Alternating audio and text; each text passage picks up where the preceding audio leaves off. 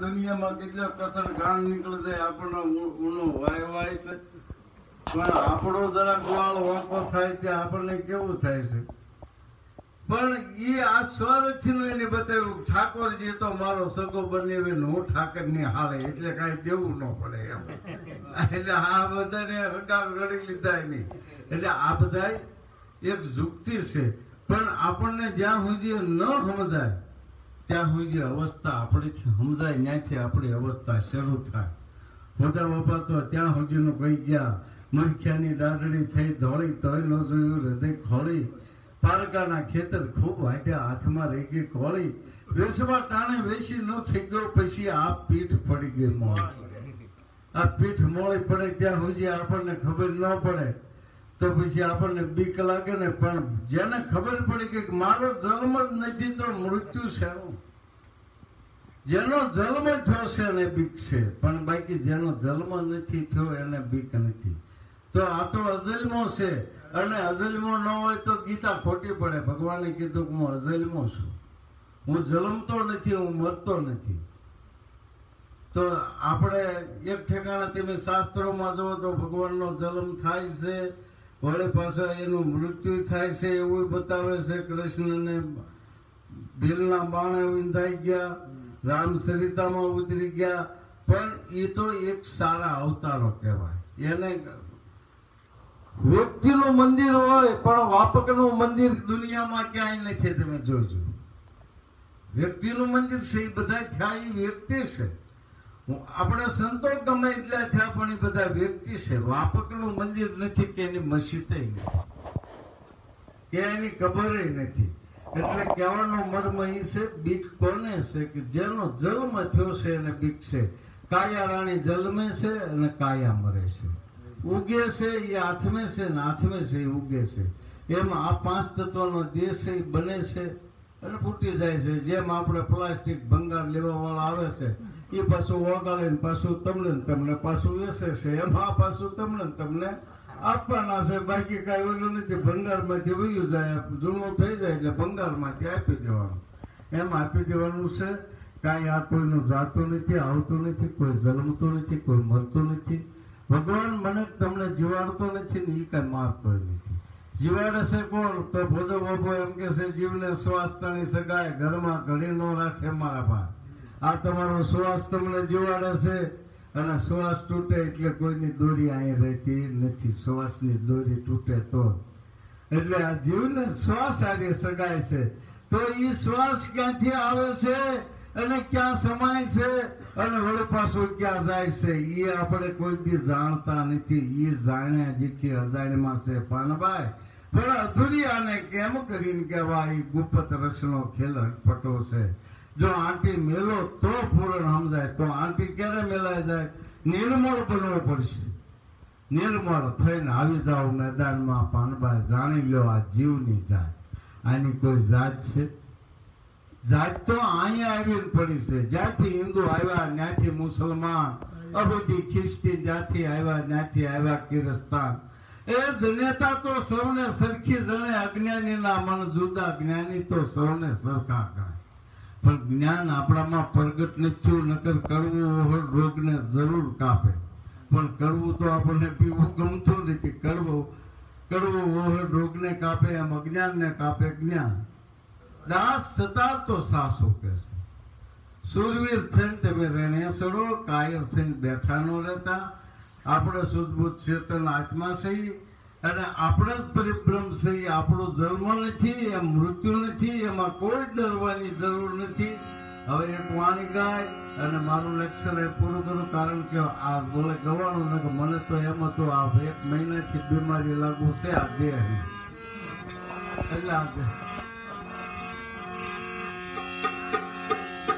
પણ આત્માને બીમારી નથી, એટલે હવે હાલ્યો.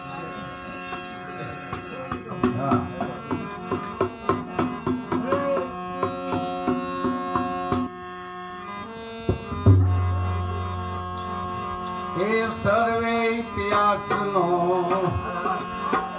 એ સિદ્ધાંત એક છે પાનભાઈ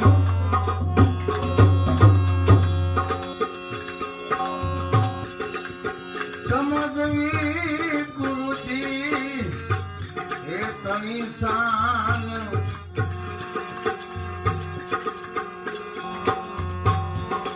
સર્વે ઇતિહાસનો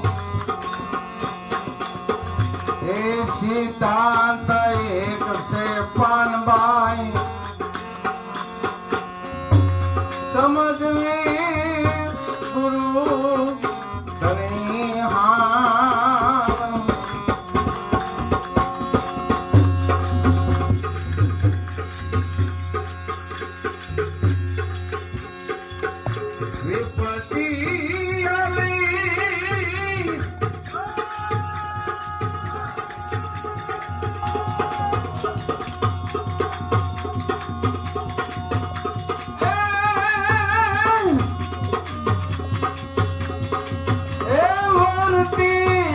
ધારવી નહીં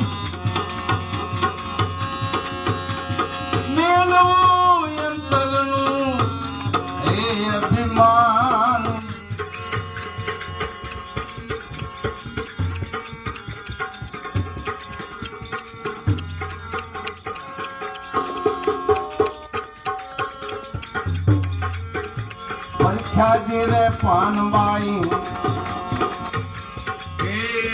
એ ફૈસલ જેને શીશ કર્યા એ કુરબાનો એ પરખાજી પાનબાઈ એ વાનરની ફૈસલે જેને શીશ ને કર્યા હોય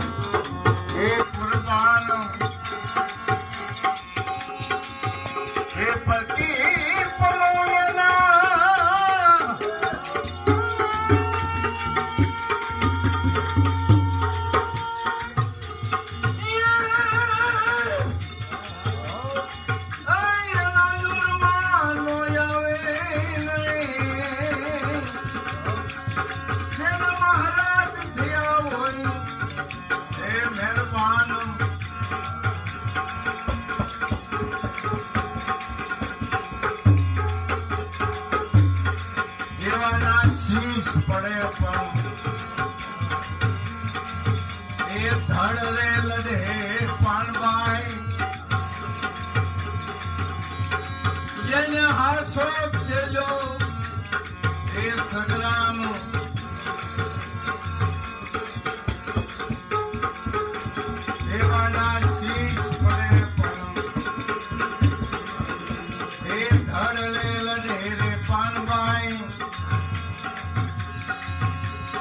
જેને હાસો જલ્યો હોય એ સગરામ પોતાનું શરીર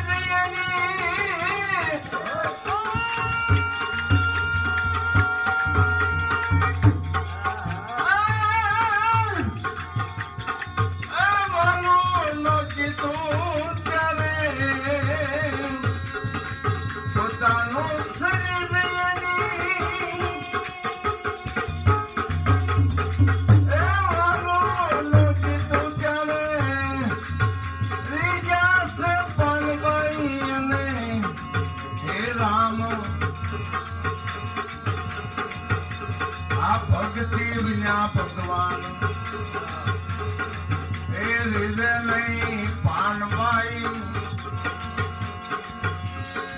ભલે ને કોટી કરે બીજા એ ઉપાય. ભક્તિ વિનાનો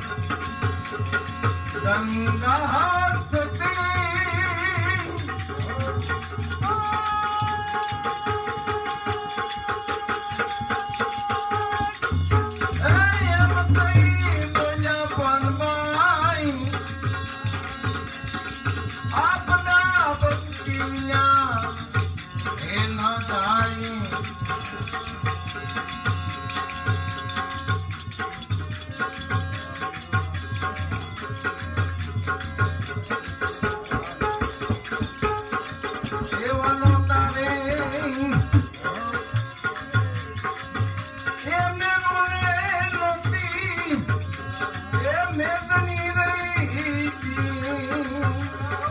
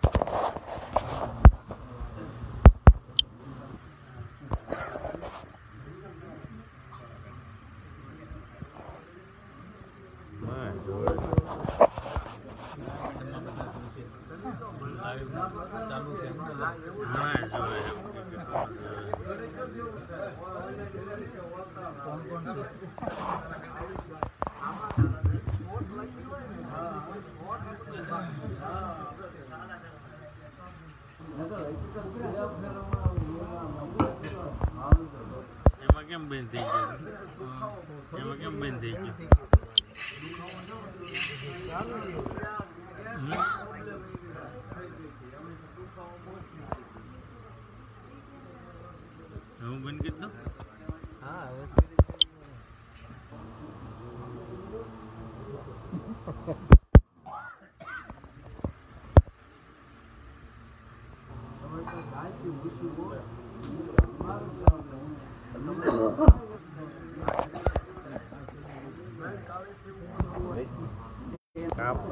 ગયું હમ?